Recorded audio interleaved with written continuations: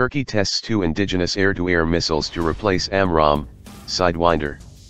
Turkey tested two indigenous air-to-air missiles in the Black Sea province of Sinop last weekend, the Anadolu news agency reported.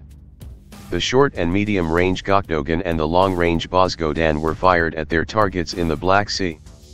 The Gokdogan and Bozgodan missiles, developed by the Defense Industries Research and Development Institute, SAGE, and the Scientific and Technological Research Council of Turkey, TÜBİTAK, were unveiled during the 13th International Defense Industry Fair held in Istanbul in May 2017. They have been developed as direct replacement for US-made AMRAAM and Sidewinder air-to-air missiles.